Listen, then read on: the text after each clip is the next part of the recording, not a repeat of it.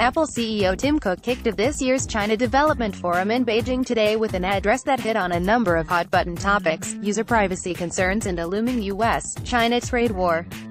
The executive touched on privacy regulations, in the wake of a breach of trust that found Cambridge Analytica harvesting information from 50 million Facebook users.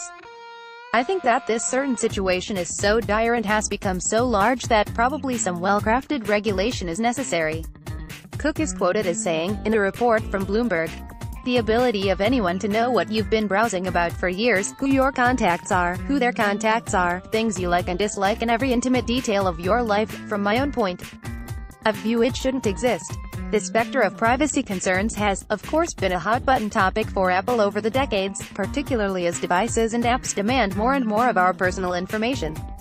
Late last year, for instance, then-Senator Al Franken pressed the company over Face ID, a subject to which Apple quickly responded. Cook's statement reflects similar comments Steve Jobs made about privacy back in 2010 in an event where Mark Zuckerberg was also speaking.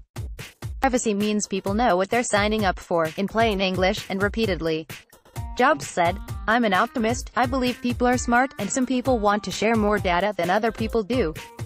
Ask them. Ask them every time. Make them tell you to stop asking them if they get tired of your asking them. Let them know precisely what you're going to do with their data. In his own address, Cook noted that many of the concerns around what companies might do with all of the personal data has come true more than once.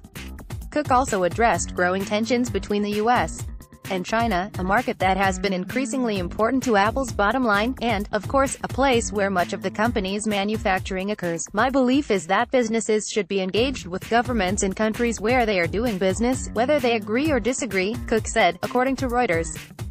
Tensions between the two countries have only grown more heated in recent days. Just this week, the Trump administration announced plans to place $60 billion in tariffs on Chinese goods, with the burden landing heavily on electronics.